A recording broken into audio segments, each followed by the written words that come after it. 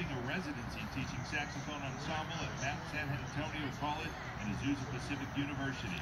Craig recently performed with the Temptations and currently with his wife Mary and their band, Two Is One. Come on out though. Come on out.